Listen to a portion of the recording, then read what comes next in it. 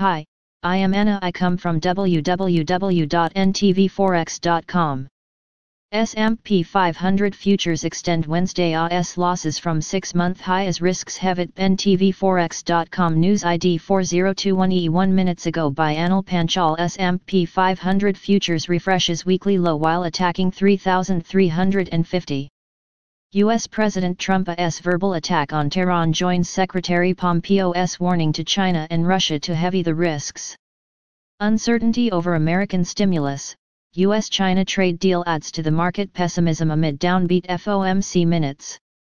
S&P 500 futures remain on the back foot for the second consecutive day while taking offers near 3,354, down 0.55% on a day, during Thursday AS Asian session. The risk barometer took a U-turn from February high the previous day as strong US dollar strength joined downbeat comments from the FOMC minutes. The mood stretched afterward as the famous US-Iran drama is about to restart following American President Donald Trump's comments. US dollar index DXY bounced off 27-month low to regain 93.00 on Wednesday. The greenback gauge currently takes rounds to 93.08 while extending the earlier gains. No major clues except positions resizing after sustained downside could be spotted for the US currency's pullback.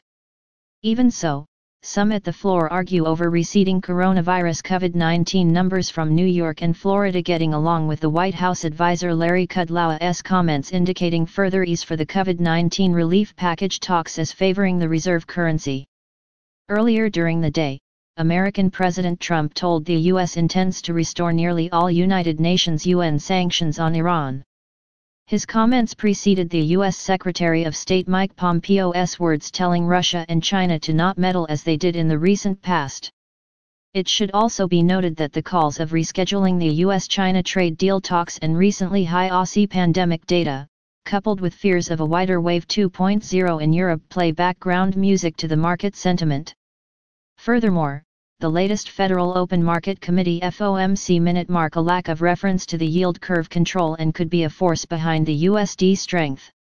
Amid all these catalysts, the US 10-year Treasury yields drop 1 basis point to 0.665% whereas stocks in Japan and Australia remain on the back foot by the press time. Moving on, traders will have to pay close attention to the qualitative risk catalysts amid a light calendar. In doing so, virus updates and Iran's response to the US, coupled with the Sino-American trade news, will be in the spotlight. Subscribe our channel to receive the news as soon as possible. Thank you for watching. If you want to read real-time news, text messages to MT5 Expert Advisors page at https m.me mt5.expert.advisors.